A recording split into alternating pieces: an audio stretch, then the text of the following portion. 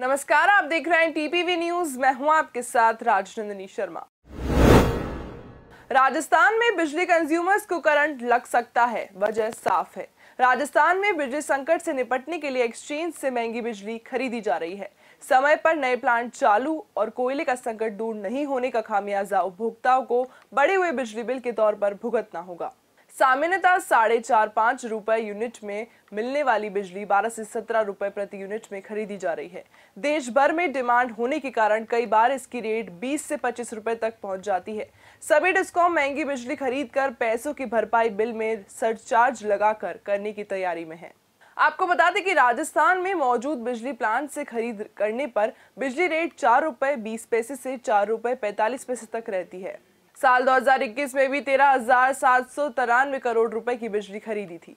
बिजली कंपनियाँ fuel surcharge में बढ़ोतरी कर उपभोक्ताओं पर उसका भार डाल देती है। राजस्थान में भीषण गर्मी और लू के चलते बिजली की खपत 25 फ़ीसदी से ज़्यादा बढ़ी है।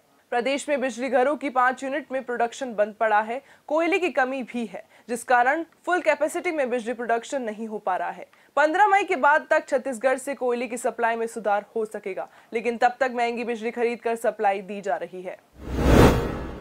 ऐसी लेटेस्ट अपडेट्स के लिए देखते रहिए टीपीवी न्यूज़ नमस्कार।